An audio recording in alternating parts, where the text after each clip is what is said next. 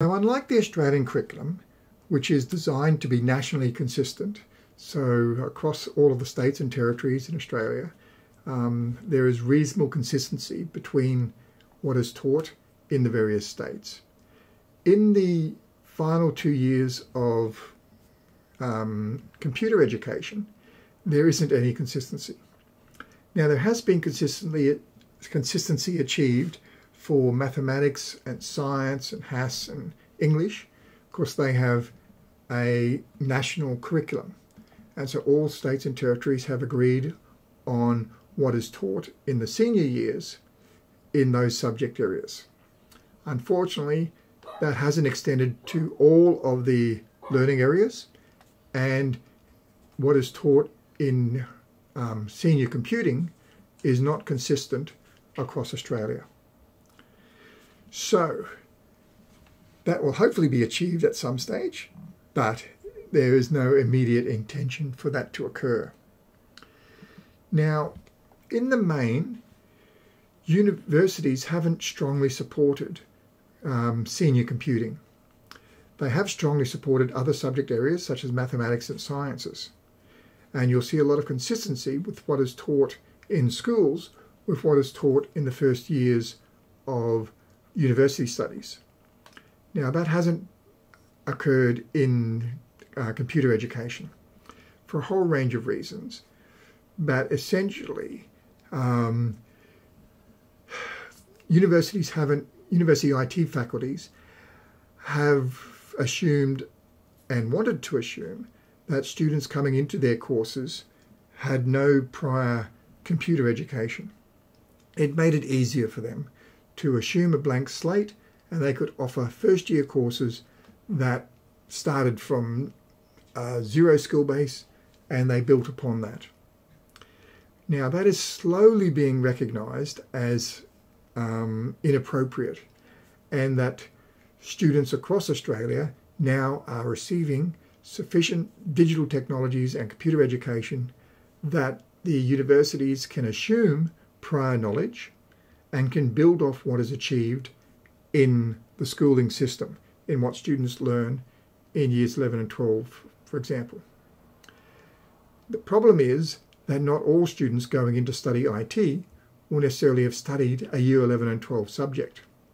They may have stopped their studies in year 10, but they will all have achieved studies up to year 8, which include a reasonable amount of programming knowledge um, that would be normally replicated in the first year of university studies. So at least they can assume student knowledge of computing up to what is described in year 8 in the Australian curriculum for digital technologies.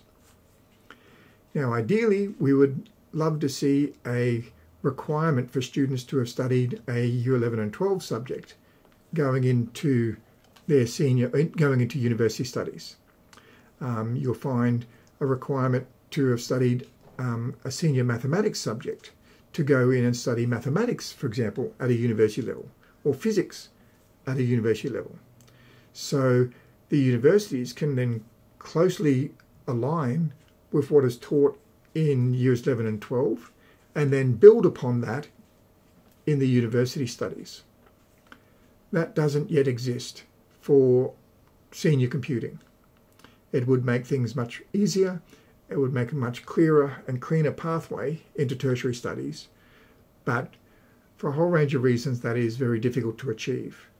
Um, for the universities to take that step, they would then have to exclude students that hadn't achieved that pathway, so hadn't studied digital solutions, for example. And they're loath to do that because student numbers are, they struggle with student numbers already. And having that as a prerequisite would then mean that they would have fewer students eligible to be able to study um, IT university-based courses. So that's sort of the history of where that is at. Now in the vet sector, it's again rather complex. Um, in the 90s and early 2000s, we went down a process whereby vet was taught in schools where we were able to teach certificate two and certificate three courses And indeed, some schools were even teaching Certificate 4 courses. Now, then the vet sector realised that that was actually rather problematic. Of course, students then didn't need to go on to um, TAFE, as it's called in Queensland, um, the vet um, courses, because they'd already done them in schools. Uh, and this caused a problem in terms of staffing and student numbers within the vet sector. So, as a sector, they moved away from supporting schools being able to teach vet courses in schools, and we lost a lot of that support, and schools generally stopped teaching vet subjects. Now, as mentioned, it is still possible, but it's nowhere near as easy as it was, and it's essentially been decoupled from senior schooling. But there will be students going through the vet pathways in schools or the applied subjects, which will then go on to study vocational subjects, at threes and fours in the vet sector. Okay. So then the final aspect you need to be aware of is around staffing. Um, in the main, only about half of our teachers in schools have qualifications to teach senior computing subjects, either vet or the general subjects such as digital solutions. Um, it's one of the issues with uh, senior senior education um, in the mate, where often we have teachers uh, who have, of course, received teacher education, but not necessarily in the subject that they're teaching.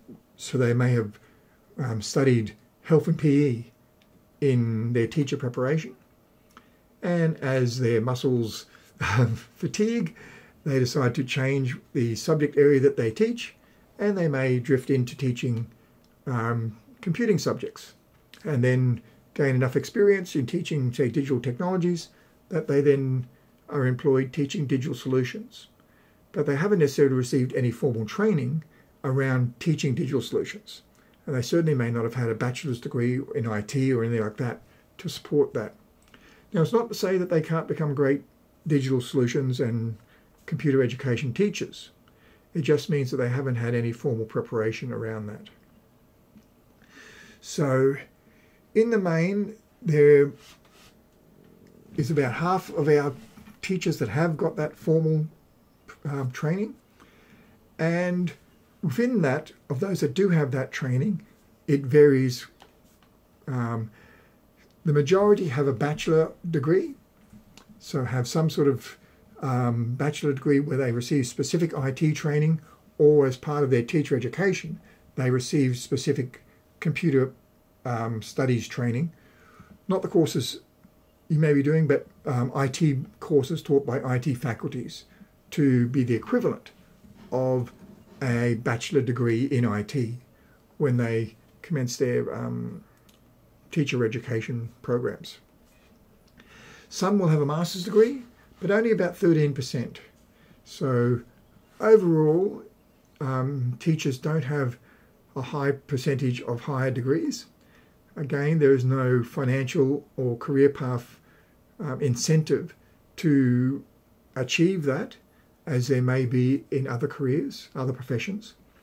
So it's not a, um, a high propensity of our teachers with higher degree training, which does seem a bit strange for an for a career path focused on education, where education is not necessarily a high priority, but that's the nature of schooling and of teachers.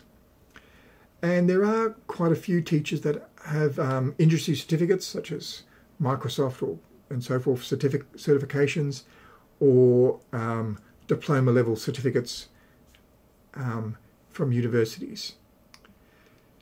Okay, so that's sort of the teaching workforce and who your colleagues will be. And across the country, the curriculum does vary, and you can have a look at those variations in the course material um, and just sort of see what is available for you to teach in other states, but also you will receive students transferring into Queensland from other states, and you should become aware in general about what is being offered across Australia. Now, many of the states will have the equivalent to what is taught in Queensland, which is essentially um, a programming language and an information systems databasing equivalent.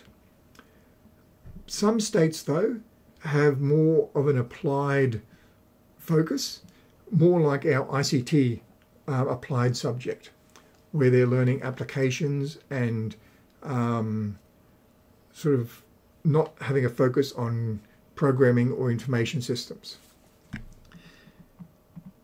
Okay, so have a look at the curriculums as they extend across the country. Just briefly, you don't need to go into them in any more any great detail, but of course we will be discussing the Queensland curriculum in considerable detail. So you need to make sure you've looked at the um, digital solutions um, syllabus in specifically, but also have a look at the ICT syllabus as well.